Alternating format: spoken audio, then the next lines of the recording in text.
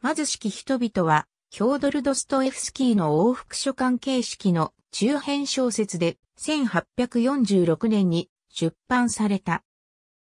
雑誌編集者、ニコライ・ネクラーソフは批評家、ビッサリオン・ベリンスキーに対して新しいゴーゴリが現れたと礼賛した。ベリンスキーはこの作品を読んで、その意見に同調した。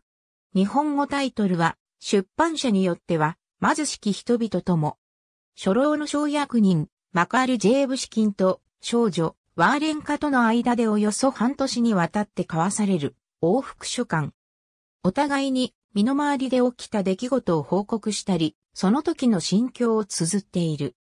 その話の内容とは、ワーレンカの父親が事業に失敗して不機嫌となり、その後病気になってそのまま死んでしまったこと、それだけでなく債権者が押しかけて家や土地も家具もすべて持って行ってしまったことや、彼女がポクルフスキーという元大学生と交流し、亡くなるまで世話をしたといった話が書かれてある。